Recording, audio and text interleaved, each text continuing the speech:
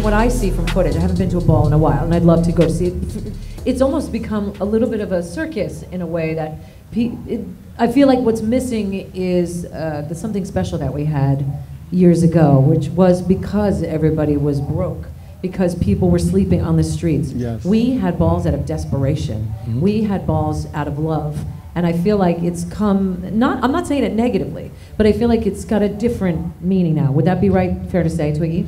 Yeah, I think so for sure, especially when you think about how all communities evolve, right? And ballroom has evolved. There's the mainstream scene, which is like varsity, but now there's also the kiki scene, which was born about 12 years ago, kind of this sub um, out of the mainstream, developed, formed by young people. Um, and so you have like I think both now are global global phenomenons, but I think that the Kiki scene is a, is still more connected to that struggle because the young people are still living in these situations, homelessness, um, newly diagnosed, so on and so forth. And so I think that the Kiki scene is a little bit more connected to that, and that mainstream, as Jack has said, is global now in a way that um, I think about the Paris Awards Ball. Jean Paul Gaultier was judging on the panel, and it's in this huge hall with TV screens, and that wasn't my first ball. My first ball wasn't ex- an experience like that. So, So how do, how do we know the difference between the Kiki scene and the mainstream ballroom scene?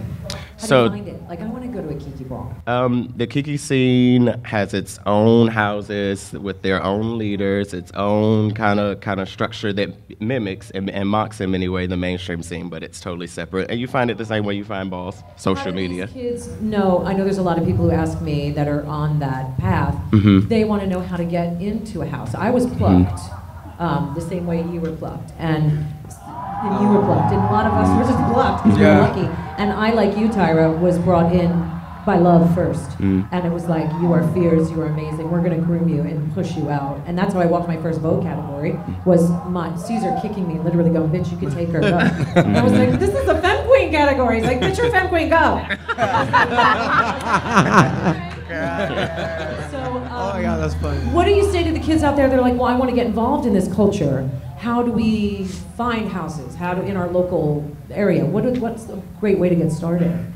Um, I think social media, honestly, is the biggest way to connect to folks. Um, it is it, it's what makes the community, like ballroom at large, accessible. So the same way you would find a clip on YouTube and look that person up and find them is literally it. That's the easiest way to connect to people. Um, Kiki houses again are separate; they're different. So you would have to know which Kiki house or, or a number of Kiki houses in order to know who connect to connect to. But folks are really open to communicating, um, and folks are really open to to continuing to spread the culture. So reach out to folks. Sounds like a lot of work. If I Well, and especially when you can't, like, when the person is just that talented, like looking across the room, or you see somebody and you're like, you know she's bona fide face. A lot of times, just like with you, they just saw you and they were like, oh, this bitch is gonna serve, and you got plucked, like you said. So it's that system still kind of happens within the frame as well. It does. Tyra, go ahead, baby. Um, if I may just interject, I will say this. For the Kiki scene, um, what I discovered as someone that was in the main ballroom scene was that we kind of shut the doors and didn't realize that we were shutting them. And we turned around and saw that these kids now started to show us in the main ballroom scene what camaraderie, what, you know, struggle really was. These kids were 18, 19 years old and saying, we can Vogue, we can do this. And they would hit the main ballroom scene and be rejected just out of sometimes just shade.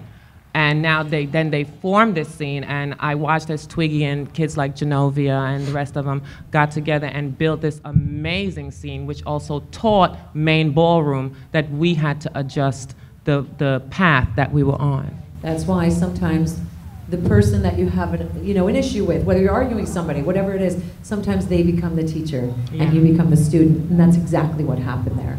We only have like 10 minutes left, so I think that we should go to some Q&A if anybody has questions. You, right there. Yes, Beauty.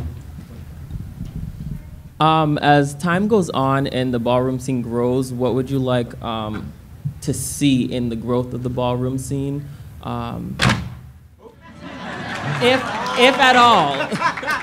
For me, um, first coming out into the scene, like I said, it was a great, it was like Alice in Wonderland. It's probably one of the most organic places to get inspired from. This Wednesday, we did a big fashion show with Pat McGrath for for her new makeup launch, and it was just epic with everybody that was in there, and for her to say we inspired her.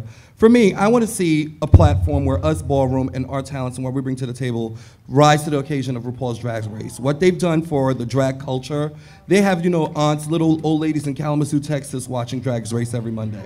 You know, I would love to see a platform where we get to show the family side, we get to show the mm-hmm. competition, we get to show the creative, and we, you know, knock it out the box. Maybe we'll get an Emmy too. Congratulations.